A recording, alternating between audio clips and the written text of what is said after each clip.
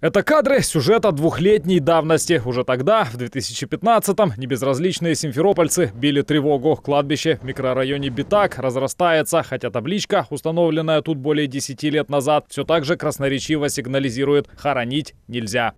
Есть много таких, которые привозят неизвестно.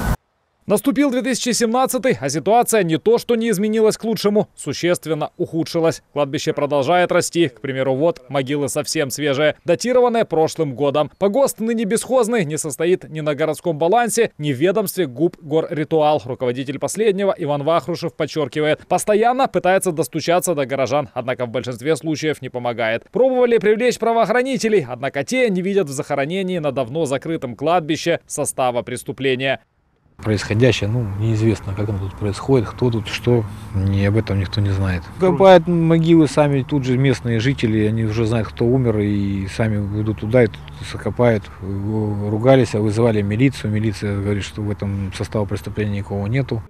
Кладбище на Битаке раньше состояло на балансе Добровского поселкового совета. Ныне департамент городского хозяйства провел торги. Это, а также ему подобные кладбища впоследствии должны быть узаконены и пройти процедуру паспортизации. Только тогда и станет понятно, кто сможет контролировать процессы, происходящие на территории погоста. Пока же, по инициативе неравнодушных, за территорией время от времени присматривает Александр Соснов. Обнаружив людей с лопатами, сразу призывает поберечь природу. Кто-то прислушивается, кто-то все равно делает по-своему. Только за прошлый год здесь появилось порядка 10 свежих могил. Если этот самый кого-то застал при копке могилы или что, я предупреждаю, что кладбище закрыто, что хоронить как бы этот самый нельзя. Ну, люди по-разному относятся к этому. Одни говорят, это наше кладбище, у нас здесь похоронены спокон веков, здесь наши предки все лежат, мы здесь хоронили и хоронить будем. Ну, кто-то понимает, кто-то, допустим, идут на обдал, там это самое производит захоронение. Кто-то настаивает на своем, остается значит, здесь. О проблеме лопающегося кладбища на территории, прилегающей к Симферопольскому водохранилищу, знают и в администрации столицы. Всех горожан призывают хоронить в разрешенных местах.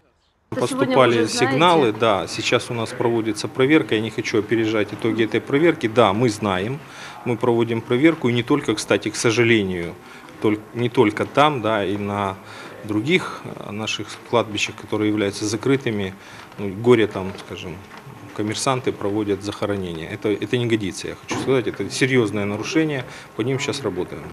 На сегодняшний день, помимо бесхозных, в Симферополе есть и однозначно закрытое староармянское кладбище на Бахчисарайской. Однако и там многие руководствуются личными пожеланиями, а не нормами этики. Ведь захоронения также продолжаются до сих пор. Как бороться с желающими провести родственников последний путь там, где не положено, активисты не знают. Обращались и в полицию, и в прокуратуру, и даже к российскому премьеру Дмитрию Медведеву. Однако самый эффективный выход решения ситуации по-прежнему один – призвать к порядочности самих горожан. Тарас Брезицкий, Александр Рыбин. Служба новостей ИТВ.